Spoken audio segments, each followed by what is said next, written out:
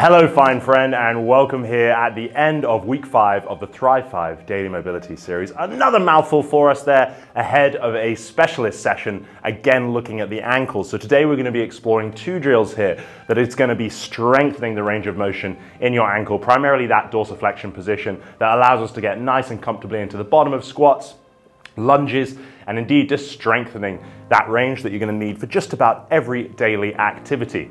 So let me talk to you a little bit about the equipment requirements today, because there are some that's going to allow you to get the most out of today's work. Two positions. The first one, you're not going to need anything. And I'm going to go over a couple of ways that I want you to approach that depending on your experience level.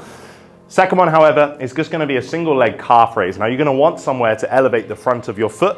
I'm actually going to be using this nice light slant board. These are really good and versatile and you can get some of these cheap but very effective ones on places like Amazon and things. That could be, however, a step, the edge of a step, um, a couple of weight plates, even yoga blocks, as long as they're sturdy enough and not too squishy so you don't lose your position. You're gonna need that in conjunction with somewhere to balance yourself. I'm obviously using trusty rusty step ladder here, uh, but you could be using a wall or door frame, even holding onto a stick or something. You should be totally fine there. So I want us to dig into these dorsiflexion rocker end range holds. Definitely a prize for someone who comes up with a better name than me there.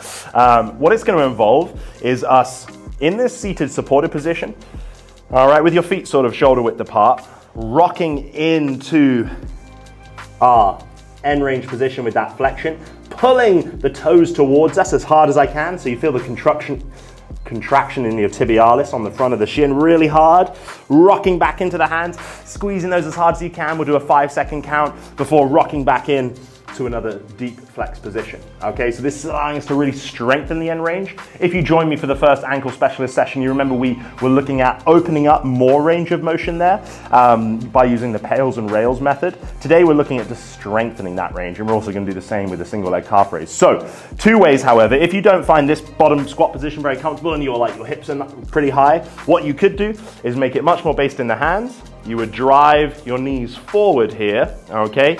Then begin that pulling uh, of the toes and the foot towards the shin as we lean back here and you're gonna get a similar contraction, okay? If, however, you can join me in the bottom squat, uh, then that's the method I'm gonna be showing here first of all. So, please find your starting position, if you will, this is gonna be one minute of continuous work and I'll be counting you through those sort of individual five second end range holds before we go back into our squat. Okay, so hopefully you're down here either on your hands or in your bottom squat. We're gonna get our minute clock on there.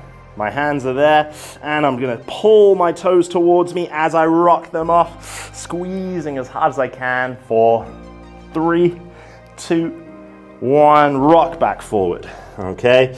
I like to let my heels ride up a little bit here to really um, uh, force some end range there in the ankles, pardon me, and then rock back into the hands, squeeze as hard as we can. There should be fire in there already. Three, two, one, rocking back forward, hands in support as much as I need them, right?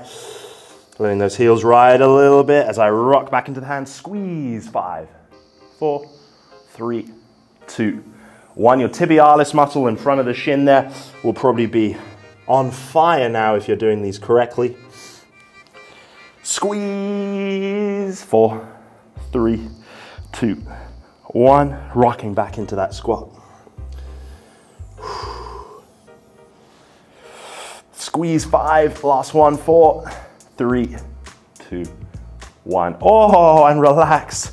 Fire, fire. Great.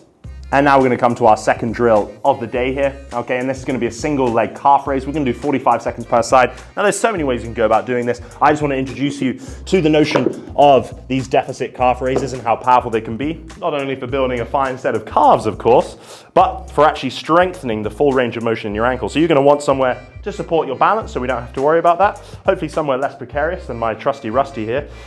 Now, whether you're on the edge of a stack of books, weight plates, whatever it is, or a step, you want the balls of your foot firmly planted on that, and then hopefully your heel can drop away underneath, okay? So that you can load up that deep stretch position. We're gonna hang out there, drive up to the top, squeeze, and then find that stretch at the bottom. It's gonna look different for all of us. Do your best with the setup you have, and join me now, if you will, for 45 seconds per side. Okay, 45 on the clock. I've got that big stretch in my calf, loading, loading up that dorsiflexion, drive and squeeze, and feel that stretch at the bottom. Drive and squeeze, and so on here.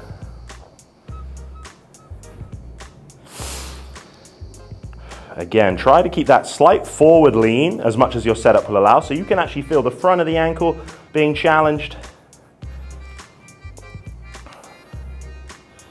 Really nice work. I know you're doing fine work wherever you are and probably already being humbled by this oh simple of calf raises.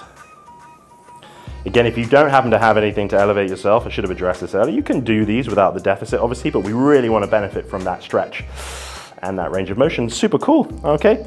We're literally gonna turn this on around.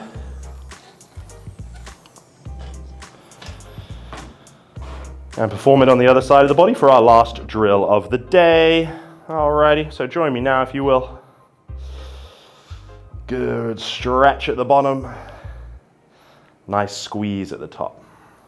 Actually really wanting to prioritize that bottom stretch mainly for its hypertrophy stimulus that it will give in, in the calf muscle, but also because that's going to be the deepest range of our ankle at the bottom when the foot is coming towards the shin, depending on your setup and how steep that drop is, of course.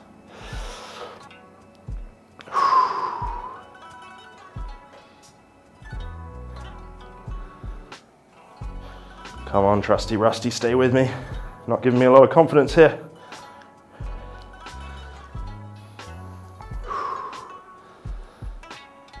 And that's gonna be my last one. Tremendous. Okay, so another couple of tools in your box there.